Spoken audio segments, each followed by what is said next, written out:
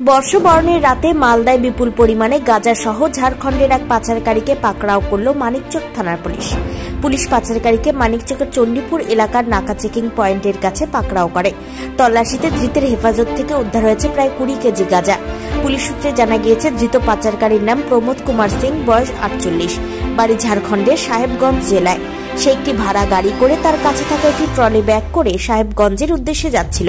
সেই সময় মানিকচক থানার পুলিশ পাকড়াও করে।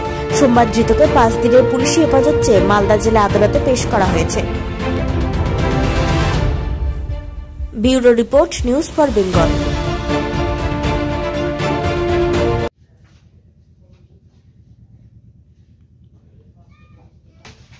ঢুকে।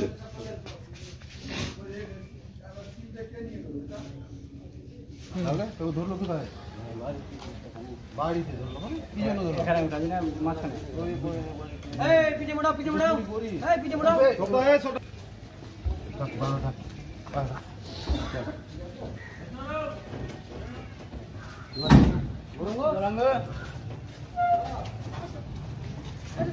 কম খরচে সাধারণ মানুষের একমাত্র ভরসা রাজ্য সরকারের সুফল বাংলা স্টল।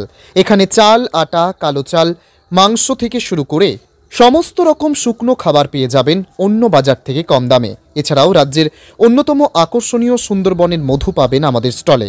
তাই আজই আসুন সুফল বাংলা স্টলে। আমাদের ঠিকানা মালদা কালেক্টর বিল্ডিংয়ের বিপরীতে অথবা শুভঙ্কর শিশু উদ্যানের পশ্চিম গেটের সামনে। Malda.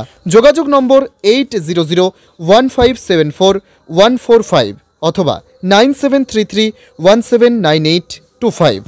This channel does not promote or encourage any illegal activities. All contents provided by this channel is meant for educational purpose only.